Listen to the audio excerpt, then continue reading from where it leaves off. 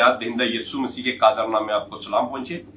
आज वीडियो बनाने का मकसद उस फेसबुक पे चलने वाला एक इश्तिहार है जो मेरे किसी मेहरबान ने मुझे पोस्ट किया, मुझे मुझे दिया ताकि मैं देख सकूँ सेंड किया उन्होंने।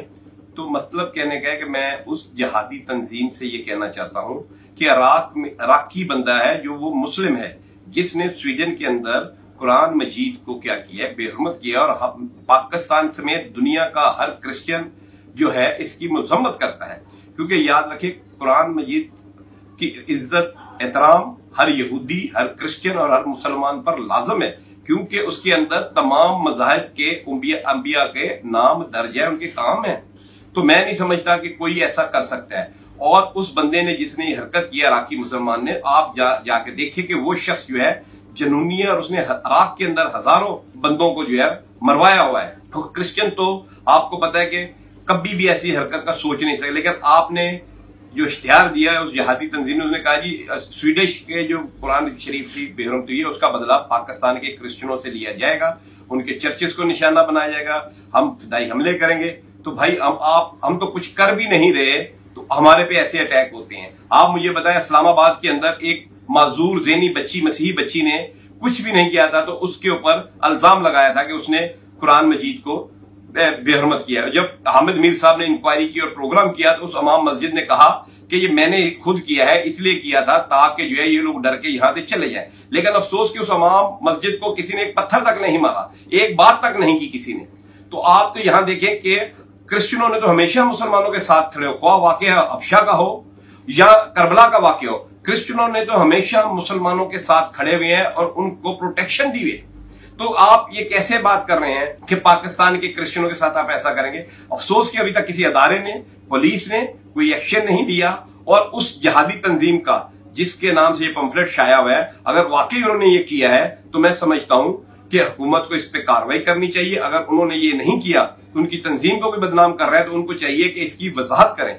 क्योंकि पाकिस्तान का क्रिश्चियन याद रखें, कभी भी ऐसा नहीं, हम तो कहते हैं कि कुरान शरीफ को जो अदालतों में उस पर हलफ लिया जाता है, ये भी ना लिया जाए, क्योंकि उस पर झूठी कसम खाई जाती है और ये भी कुरान मजीद की तोहिन होती है। हम तो इतना एहतराम करते हैं। तो आप ये कहें कि पाकिस्तान के क्रिश्चियनों के साथ ऐसा हम हम करेंगे तो मैं समझता हूँ ये ज़्यादा है, क्योंकि आप जब ऐसी बात करते हैं तो मसीह खुदावन की पेशन भी पूरी होती है कि मेरे नाम से लोग तुमसे दावत रखेंगे, तुमको मारेंगे, अदालतों में घसीटेंगे। तो देखिए, क्रिश्चियन कुछ भी नहीं करता।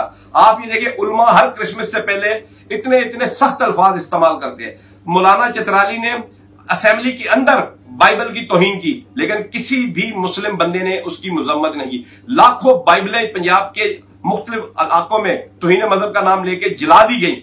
उसके बावजूद एक मुस्लिम बंदे ने उसकी मजम्मत नहीं की। लेकिन कुरान शरीफ की कहीं भी बेरमती होती है, दुनिया का हर क्रिश्चियन जो होता है इसकी मजम्मत करता है और मुसलमानों के साथ खड़ा हो जाता है। तो मैं समझता हूँ कि पाकिस्तान का जो मसीही है और दुनिया का मसीही है, दुनिया का यहूदी है, दुनिया का मुसलमान है, वो कुरान मजीद की एहतराम करता है और ऐसी बात नहीं। और जिस बंदे ने की और आपको ये भी बताता चलूँ, अमरीकी तो या यूरोप के लोग तो मसीह खुदावन की तस्वीरों को भी क्या करते हैं, कार्टून बना के पेश करते हैं।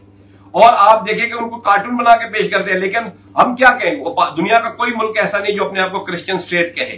क्योंकि याद रखें कि वो तो किसी की भी इज़्ज़त नहीं करते। आपको यह भी पता होगा इंडिया के अंदर मिनीपुर के अंदर सौ चर्चिस को जला दिया। अगर यूरोप या अमेरिका को इस चीज़ का एहसास होता तो उसके साथ माहे ना करता। एक मुजम्मत भी नहीं की इंडिया के साथ। और आप ये लेकिन अफसोस है कि यूरोप कुछ करता है, या फिर किसी मुल्क में कुछ होता है तो पाकिस्तान के क्रिश्चियनों को सजा भुगतनी पड़ती है। खाना काबा पे रानियों ने बेहरमती की, उस पर हमारे चर्चिस को जला दिया गया। तो मतलब कहने का कि हम, हमें किस जुर्म की सजा दी जाती है? यूर आप देखें अमेरिकन या यूरोपियन बैसी है, उसके अंदर मुलाजमिन ज़्यादातर मुस्लिम है। आप देखें सियासी पनाह के लिए भी जो है, जल्दी सियासी पनाह मुस्लिम को मिलती है। क्रिश्चियन तो मलेशिया, थाईलैंड में धक्के खा रहे हैं। तो ये कहना, हमें यूरोप के साथ जोड़ देना, ये सरासर ज्यादती है। क्योंकि यूरोप जो है, वो इस तरह की बात ही नहीं। आप देखें अमेरिका की मस्जिद के अंदर एक औरत गई है और उसने, हिंदू औरत गई है और उसने फजूल बातें की हैं। लेकिन किसी मुसलमान ने उसको रोका नहीं, बल्कि उन्होंने फ़ोन किया और पुलिस आई और उसको गिरफ़्तार करके गई। तो यहाँ स्वीडिश के भी देखें, सब मुस्लिम देख रहे हैं, वो जला रहा है, वो बेरमत कर रहा है। लोग पास से गुजर रहे हैं, एक बच्चे ने और एक औरत ने, उसके ऊपर पत्थर और जूती फेंकी, पुलिस ने उसको गिरफ़्तार कर लिया। तो कहने का मतलब यह है कि ये गलत है, हम इसकी मजम्मत करते हैं, लेकिन आप देखें कि ये भी एक तरीका गलत है कि आप किसी पे झूठा इल्ज़ाम लगाएँ और पूरी बस्तियाँ जला दें। आपको मैं बताता चलूँ कि लिबिया के अंदर इटली एम्बेसी के ऊपर लिबियंस ने हमला किया था जब हॉलैंड में कार्टून का मसला शुरू हुआ था। तो कर्नल कजाफी ने जितने मुजाहरीन थे, उन सबको मरवा दिया था। उन्होंने बोला था, ये गलत बात है कि हम दूसरे मुल्क के ऊपर क्यों ऐसे अटैक करें? तो मैं समझता हूँ कि अगर आप एक मजलूम के लिए खड़े होना चाहिए, आपके मुल्क के अंदर पाकिस्तान का क्रिश्चियन मजलूम है, आपके साथ है। आप बताएँ कि पाकिस्तान के क्रिश्चियन ने आपके साथ कभी कोई ऐसी बात की है? आपने लाखों बाइबलें जलाई, आज तक किसी मुसलमान ने उसकी मजम्मत नहीं की। लेकिन हम तो हर वक्त आपके साथ हैं।